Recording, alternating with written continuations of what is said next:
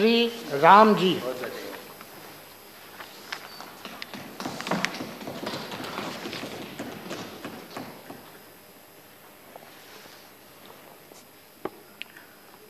मैं राम जी, जो राज्यसभा का सदस्य निर्वाचित हुआ हूँ, सत्यनिष्ठा से प्रतिज्ञान करता हूँ कि मैं विधि द्वारा स्थापित भारत के संविधान के प्रति सच्ची श्रद्धा और निष्ठा रखूँगा।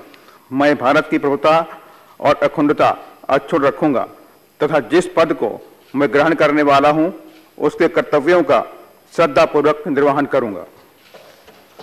साइन।